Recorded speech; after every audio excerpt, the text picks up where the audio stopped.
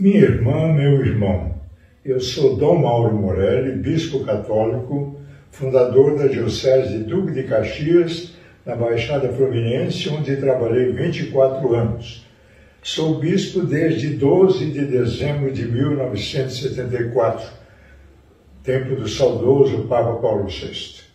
A minha palavra aqui é em perfeita sintonia com os sentimentos que movem lá na Amazônia o Comitê de Combate à Corrupção, sociedade civil, tantas personalidades clamando por vacinação em massa já.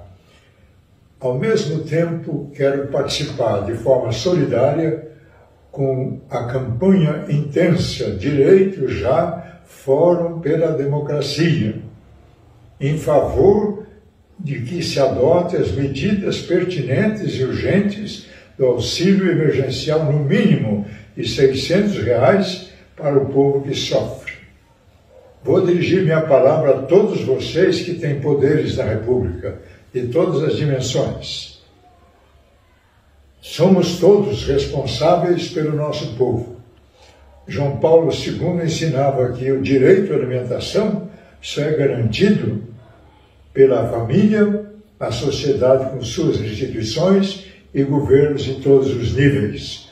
Estamos atravessando uma crise horrível, uma crise civilizatória, inclusive.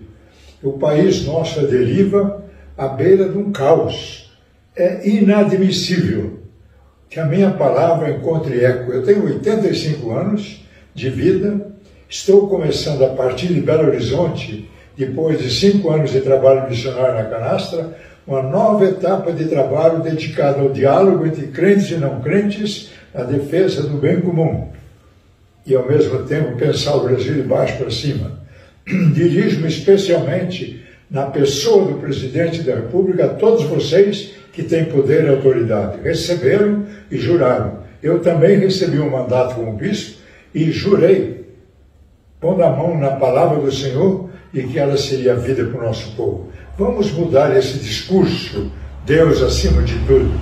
Vamos colocar a vida acima de tudo. Jesus disse em João 10: Eu vim para que tenham vida e tenham sempre mais. O que está em questão no Brasil é vida. Vida não tem preço. Unamos-nos todos em defesa da vida, com rapidez, com urgência, com decisão. Cortemos tudo que é necessário, começando com os de cima, com os de alto, do alto. Esse é um momento grave, duro, convertamos-nos. O Evangelho nos diz que o reino de Deus pertence àqueles que repartem o pão. Caro presidente, somos vizinhos de terras de, por nascimento. Glicério, onde o senhor nasceu e a verdade onde eu nasci, coladinho em Penápolis, junto ao Santuário de São Francisco.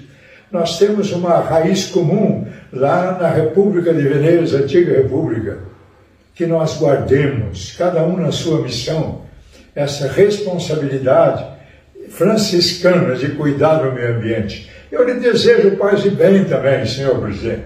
Desejo que o senhor vença as trevas, rogo ao Espírito de Deus que o liberte dessa possessão, dessa possessão pela ganância, pela soberba, pelo desprezo da ciência.